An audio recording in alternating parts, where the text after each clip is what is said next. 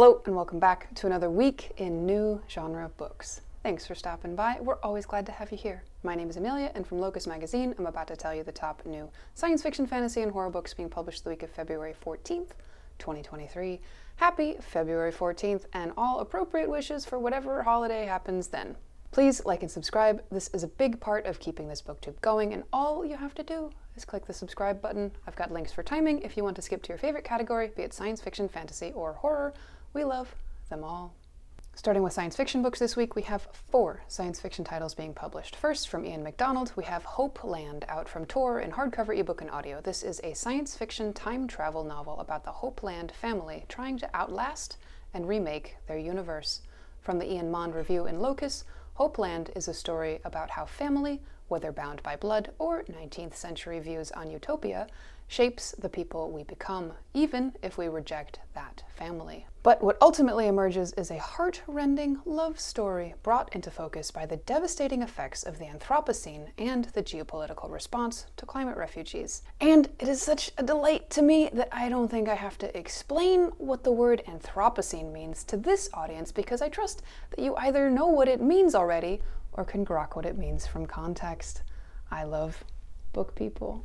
Next, from Adrienne Maree Brown, we have Maroons out from AK Press in trade paperback and ebook. This is a science fiction novel, a sequel to Grievers, set in a plague ravaged Detroit. From Grace Curtis, we have Frontier, a far future debut queer space western out from Solaris US in hardcover and ebook. And from Al Hess, we have World Running It Down out from Angry Robot UK in trade paperback and ebook. This is a science fiction novel about a transgender salvager in the future wastelands of Utah dreaming of earning enough money to become a citizen of utopian Salt Lake City, and an AI named Osric, forced into a body against his will and sent into the waste to recover and escort services stolen androids. But the ladies have become self aware and don't want to go back.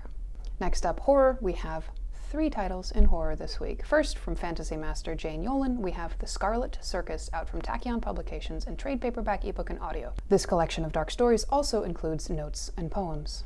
Next from Roshani Chokshi, we have The Last Tale of the Flower Bride out from Morrow in hardcover, ebook, and audio. This is a gothic novel about a marriage, threatened dark secrets, a lost friend, and the danger of believing in fairy tales.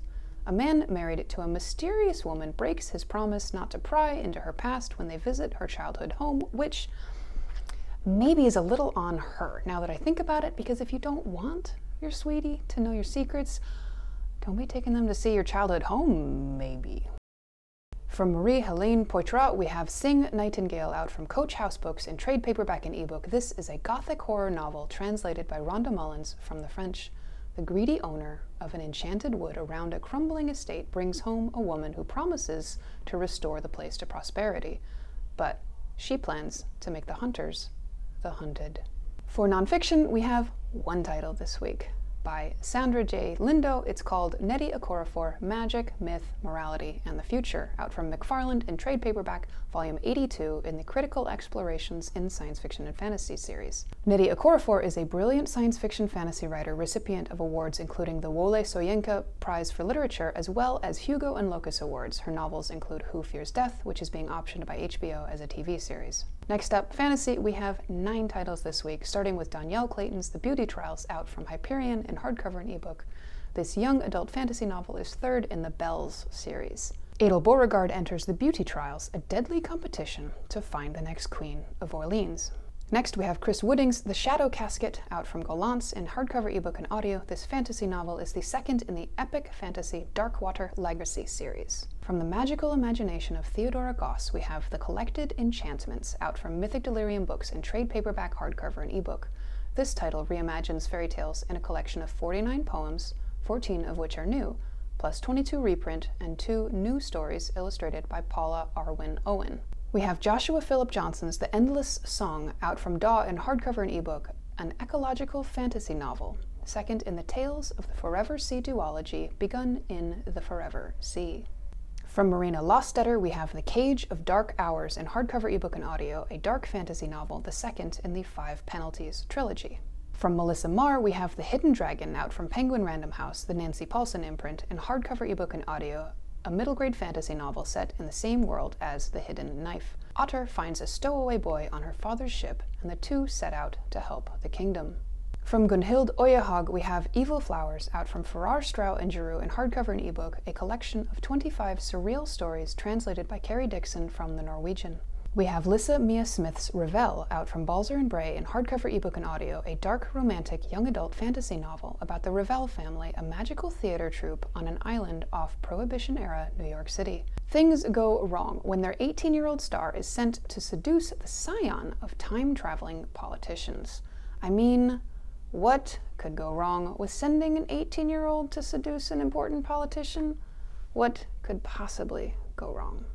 Lastly, we have Richard Swan's The Tyranny of Faith out from Orbit US in hardcover ebook and audio. This fantasy mystery novel is the second in the Empire of the Wolf trilogy. Sir Konrad Vonvalt, Emperor's Justice, returns to find the capital city filled with unrest, and the Emperor's grandson has been kidnapped.